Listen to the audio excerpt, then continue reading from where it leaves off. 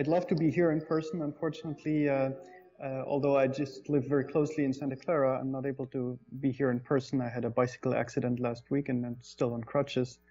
And since I was told I only have 15 minutes, that's probably about the time it would take me to hobble from the door to the podium. So I better do it remotely. Um, what I'm going to talk to you about today is about a, a new payment device uh, of my company Verifone that's called Carbon, and how we use WSO2's uh, EMM solution uh, to manage our devices. One second. So, um, so what is Carbon? Uh, you can see some pictures here. It's an entirely new payment terminal, which is what Verifone uh, traditionally does um, in a sleek design. So you can see here on the left side, uh, you can see it consists basically of two parts. One is an Android tablet, the larger one on the left side, which is facing to the merchant. Um, and then there's a smaller payment terminal with all kinds of payment uh, functionalities for the customer with uh, Apple Pay and credit cards, etc. Um, and this device is is placed on a base, which is mobile. So on the right side, you can see that you can remove the device from the base. The base is mainly for charging, uh, Ethernet connection, and has the receipt printer. Um, and um, the target customer, the target market really is small and medium businesses. So this is not for large uh, customers necessarily, large merchants. Um, it is semi-mobile, so you can carry it around within the, uh, within the store for maybe half a day or a little bit longer. And what's really uh, new about it is that it is embedded in a whole uh, ecosystem uh, that we call commerce platform. And it consists of a number of additional platforms that provide more than just a typical payment terminal that so far Verifone has produced. Um, most importantly, we allow a uh, allow third-party developers to create their own apps. So there is a developer portal where uh, developers can download an SDK uh, using our APIs. APIs. Um, there is an app marketplace where these apps can be placed and can be purchased, similar to what Apple and Google do. Um, so this allows us to leverage applications that uh, include payment functionality. So all these SDKs uh, can trigger payments, can get information about succeeded or failed payments. Um, so, for example, they could uh, they could include some commercials or some targeted promotions to our customer while he's in the process of paying for his uh, purchased items. There are a few more portals that kind of uh, are part of this commerce platform. One that's called estate owner portal, which is a state is, is essentially the number of all devices. And the state owner is a large large corporations that deal directly with the merchants. So it's not typically Verifone doing that. Um, so in this portal, they can manage all the devices, have an overview of their devices, can manage their merchants, so create new merchants, remove them, update them, uh, as well as purchase apps for their merchants. Uh, and similar, the merchant portal allows a you know, smaller scope for the merchant only. They can see their devices uh, and can purchase apps uh, for their devices. And then there are the payment related uh, services. The use cases, I mentioned one example where you have promotional uh, media and coupons, but you could also think of it like loyalty points. So maybe you can pay with air miles or you can get air miles when you, when you pay um, or you have specific promotion videos or coupons that are shown potentially even tailored to one particular customer if there's a if they have a frequent flyer a frequent buyer card um, you can do all kinds of analytics for the purchase process. So it gives, gets the merchants and also their estate owners much more information about the whole process. How how what do people buy? How often do they buy it etc so there's it depends on what the third party developers uh, develop. So they have a wide range of options here uh, that we provide by our apis um, another one is potentially invite customers to redeem personalized offers in real time so these are just a few of the use cases uh, that we have in mind for this platform here are now for all of this to happen, we somehow need to monitor and manage these devices. And that's where WSO2's EMM solution comes into place.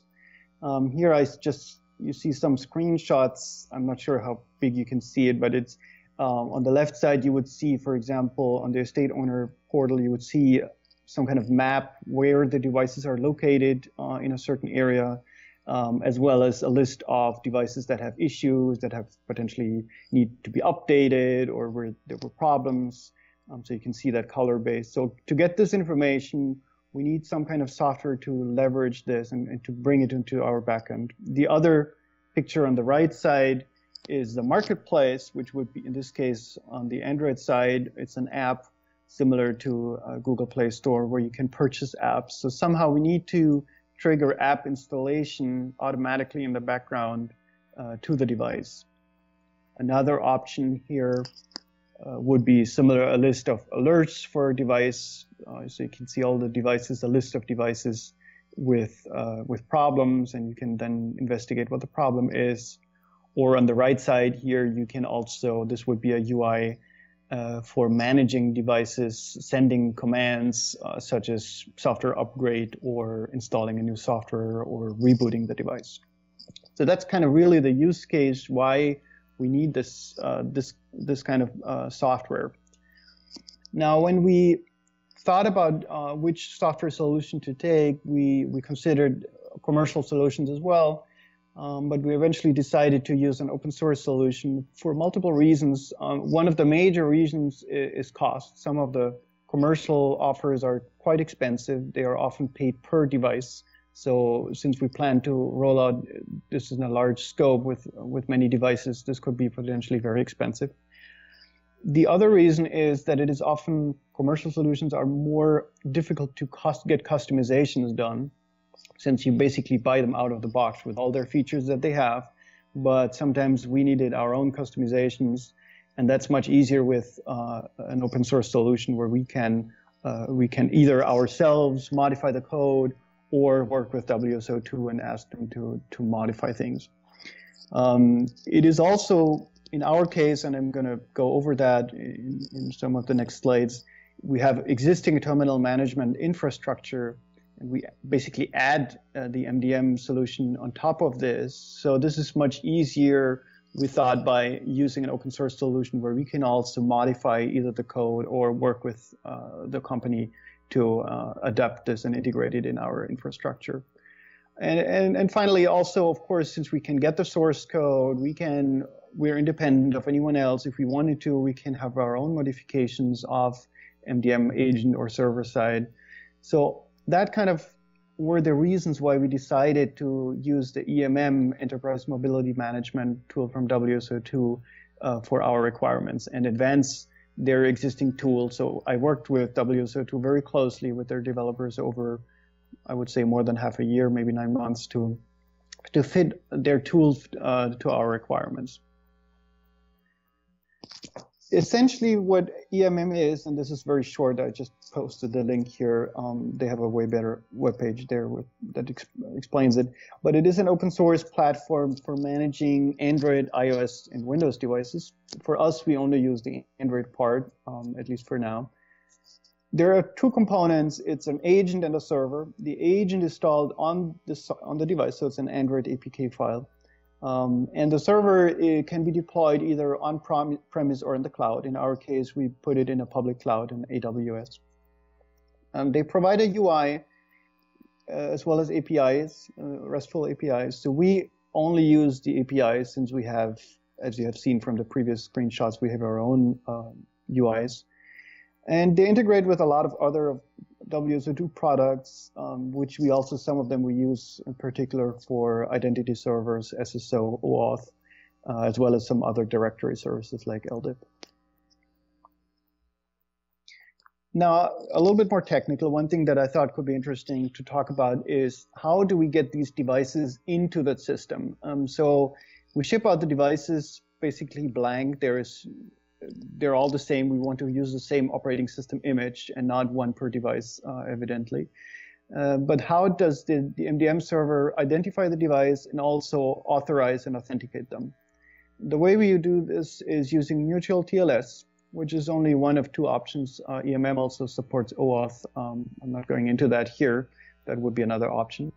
But basically, by using individual device certificates, we can identify and authorize the devices.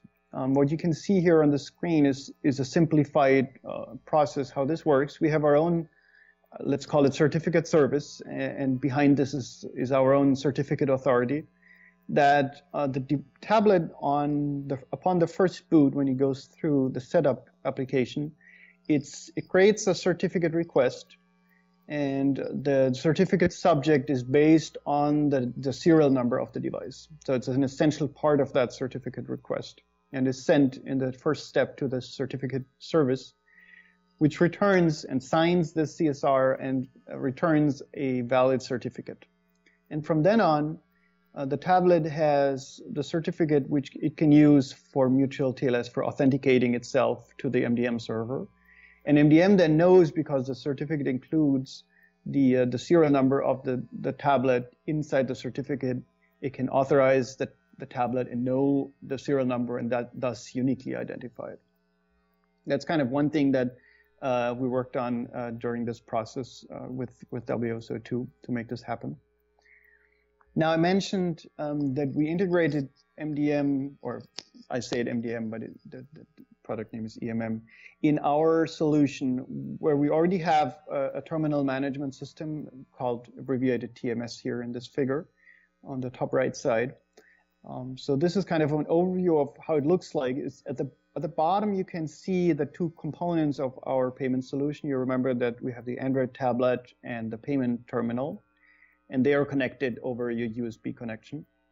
So they, there's some communication ongoing between them. And then we have our legacy terminal management system that traditionally manages all the terminal functions. Terminal is based on a on a Unix derivative, derivative so it's a completely different operating system. It cannot use uh, Android features, which is one of the reasons why we decided to instead of extending our TMS uh, used EMM and for the communication with the tablet side. So one example would be, let's say we want to send a command to the tablet, say do an operating system upgrade. So we want to send it to that tablet identified by its serial number A. Um, it'll realize that this device, it has it in its database that this is a, a, command that is for the Android side. So it will communicate with the RESTful API of the MDM server using that same serial number. And the tablet polls periodically for new commands. Um, so there's a queue for each of the devices, and if there's any new any new command, it will be returned to the tablet, and then in step four and five, it would uh, re return the success status. Um, polling is only one of the options. So in the future, we want to switch to a push-based model. Um, but since we don't use the Google Play services, that's currently not uh, possible. So right now, they're all polling. One, as I mentioned, we don't use the UI of EMM. So one thing that was very important to us is how we can use EMM basically as a black box. We uh, we just call it from our TMS. We call it uh, send commands as well as monitor, we get information about the device, but we don't really need to know what how it happens or how EMM exactly works internally that meant that we needed a thorough list of uh, APIs, RESTful APIs, and I worked closely with uh, WSO2 on all these APIs um, to, to fit all of our requirements. We documented them in Swagger. So as you, on the right side, you can see an example uh, of how this can look like. I don't know if, all of you have worked with Swagger. It's a really great tool for uh, describing, on the one hand, describing, documenting um, RESTful APIs, but also to actually experimenting with them. So in this example, you can always, for each call, you can basically uh, set the payload and then click on a button, try it out, and it'll send the payload to the MDM server, and then uh, you will see the response, HTTP response. So it's a very nice tool for verifying the correctness also of the APIs. What do we use EMM mostly for? Um, there are way more features than we actually use, so we only use a subset. Uh, most important one is we get device information, um, including the location of the devices, so longitude, latitude, so we can display it on the map, but also other information such as installed software, um, current version of the operating system, um, memory, available memory, battery level, uh, level etc. We do uh, one other very important feature is what's called OTA, over-the-air upgrade, which is a feature provided by Google APIs um, for upgrading the whole operating system. And EMM leverages this by downloading the OTA images and triggering the installation. Uh, we install Android applications, so the APK file format. We install them, update, remove them in the background, so the user is not bothered by installation uh, of the APKs. Of APKs. There is a possibility for locking a device, permanently locking it. This would be if uh, the device has been stolen, for example, or uh, has been otherwise abused. So we or bill hasn't been paid. So we can lock the device. We can reboot the device. Um, there's a factory reset feature. One feature is more for debugging, sending the whole logcat, so the, the Android logs uh, up to the server, and then sending notifications that pop up on the on the tablet. Now, I want to talk a little bit about how we plan to scale this. So initially, of course, you start out with one uh, MDM server, but then um, once we have more devices, we'll have to scale this in a much larger scope. So this is a simplified uh, diagram de depicting this. So there will we use, as I mentioned, we use everything in AWS in the cloud. So we have an elastic load balancer uh, provided by AWS which then forwards all the requests to one or more workers of EMM server in an auto scaling group so that they will auto scale automatically if there are, there are more requests we can scale turn up more instances and then uh, eventually the files will be stored in S3 so the APK files for example um, and all the instances uh, communicate with an, a database system to get the information. Now, in reality, uh, it's a little bit more complicated than this, which you can see here, for a simple reason that the ELB, they cannot do the uh, TLS, mutual TLS that I described earlier in this talk, uh, which I hope eventually they will, which would simplify greatly this architecture. But since they don't, essentially we have two ELBs, one external ELB which forwards the requests to one or more uh, instances running Nginx, uh, the web server. And in this case, Nginx is really only used for the TLS termination and for the uh, mutual TLS. So it verifies that the certificate is correctly signed. And what it will do is because EMM still will, will need to know the serial number of the device, it will put it in a HTTP header that's forwarded then internally. And so the communication goes from Nginx towards an internal load balancer and then to the EMM workers. So that's currently Uh, the architecture that we use. Hopefully in the future, once AWS supports mutual TLS, we can get rid of this and, and basically go back to a simpler version like this.